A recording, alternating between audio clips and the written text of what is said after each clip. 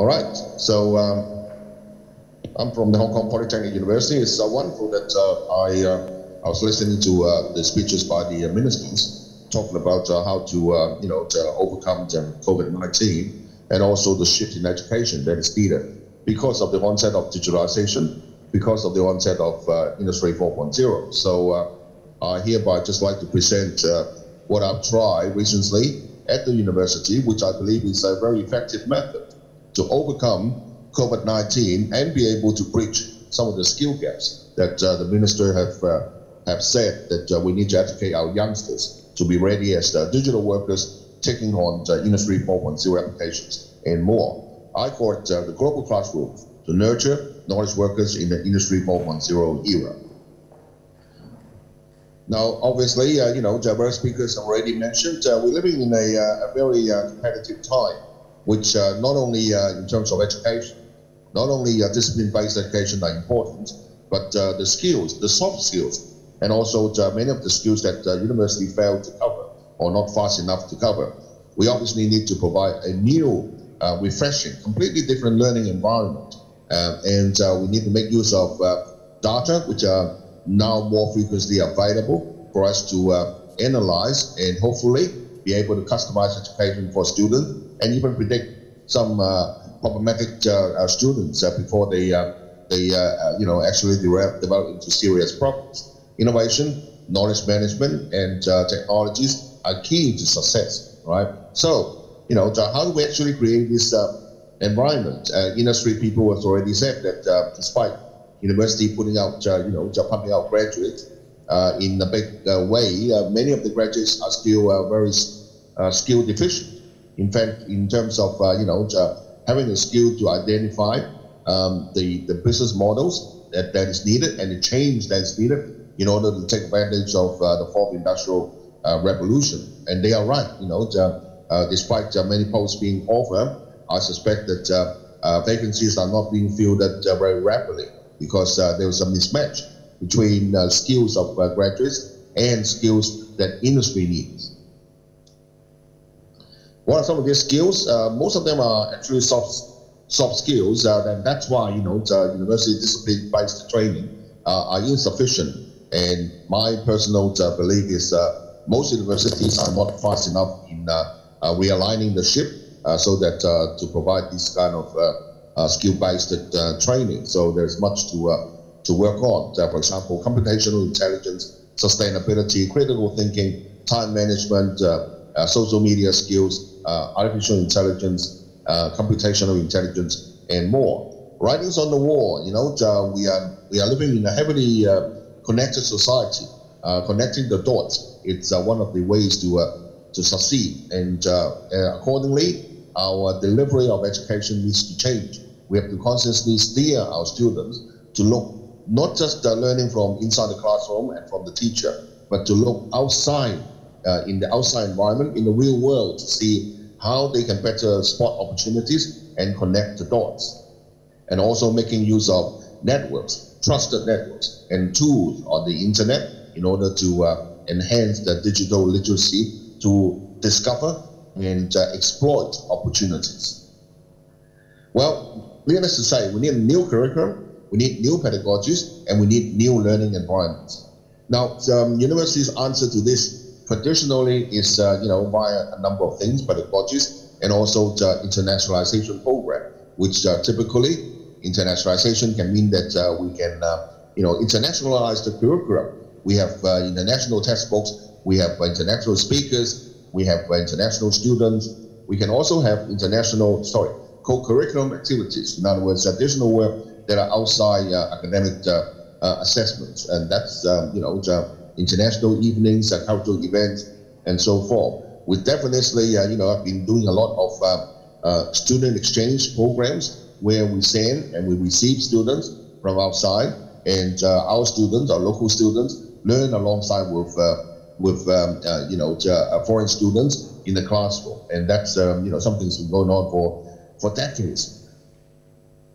And some universities also redecorate their campus so that they have a special uh, cultural corner, uh, you know, to, with particular attention to a particular culture and uh, ethnic groups. Are we doing enough? I don't think so. In fact, you know, with the advancement of technologies and the need for change, we have to do a lot more, a lot, lot more. So at the Hong Kong Polytechnic University, uh, we're facing the same problem.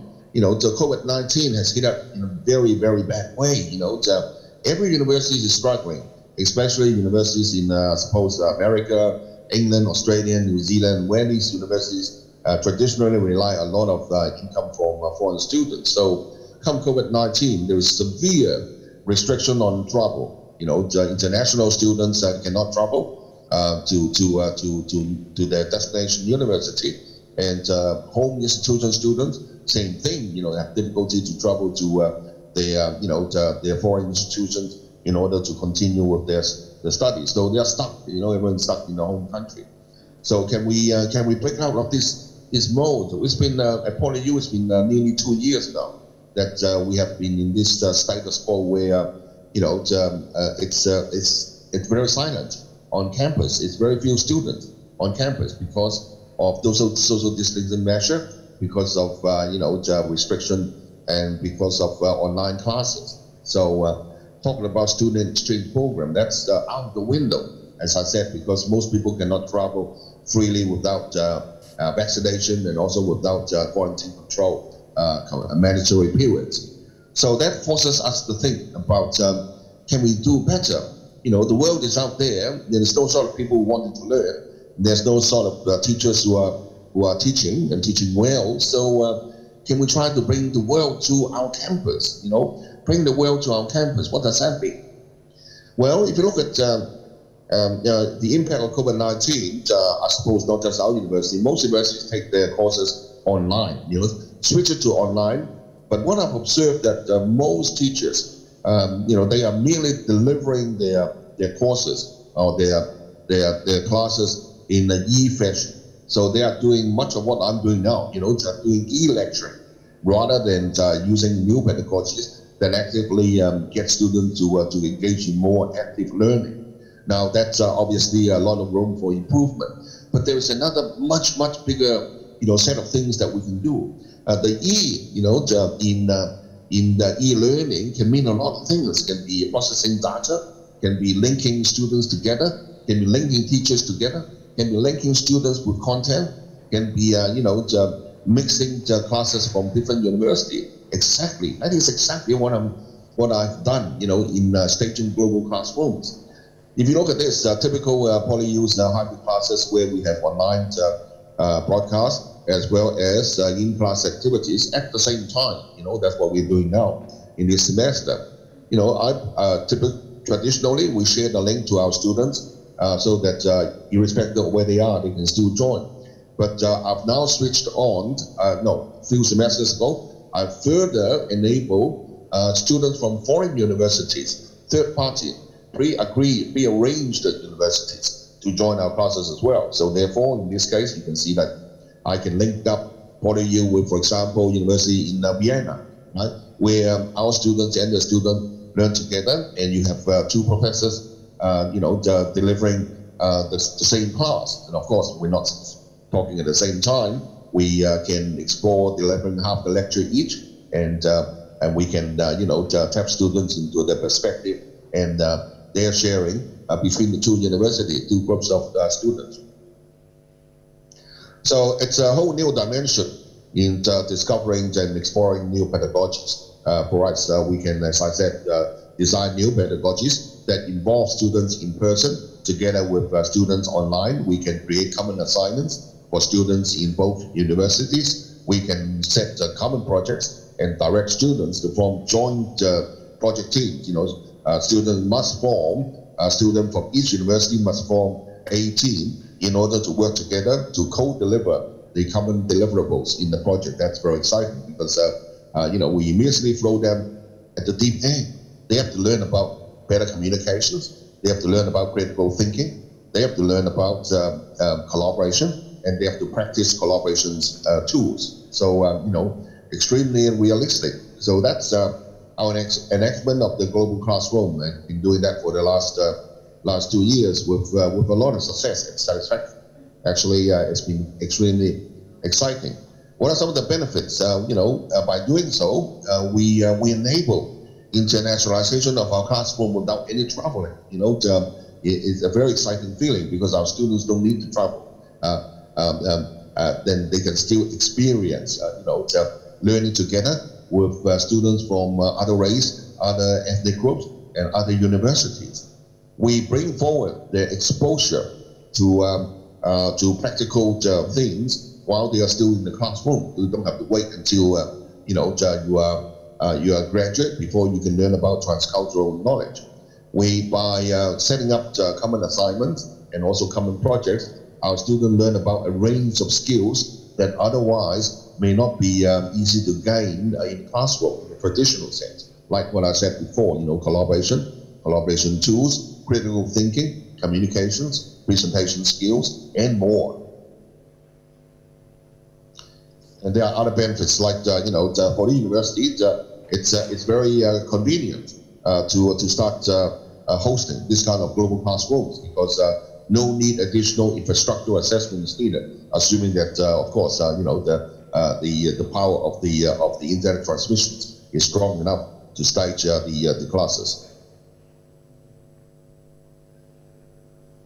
and writings on the wall, you know, in Industry 4.0, many literature uh, suggest, do suggest that the education sector, you know, have to step up to produce more talent equipped with the skill set and competencies required in Industry 4.0. So we believe that uh, we are doing precisely that and hopefully more by staging uh, global classrooms.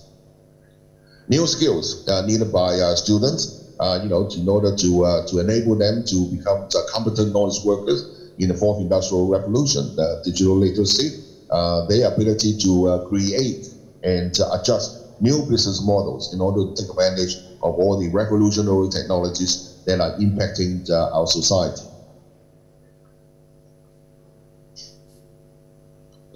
One of the courses that uh, I did with Arizona State University is uh, to bridge a transcultural uh, gap. I mean, cultural knowledge is a big part in terms of decision making and uh, you know the line of authority. And the East and West culture uh, have a big difference uh, in this. So I give half a lecture on Eastern culture, and the, my counterpart at ASU give the other half in the Western culture all right? And then students from PolyU and uh, Arizona State University, uh, you know, to, uh, ask questions, and uh, we had a lot of uh, lot of fun and learned a lot about uh, students, you know, learning and also motivation in different perspective.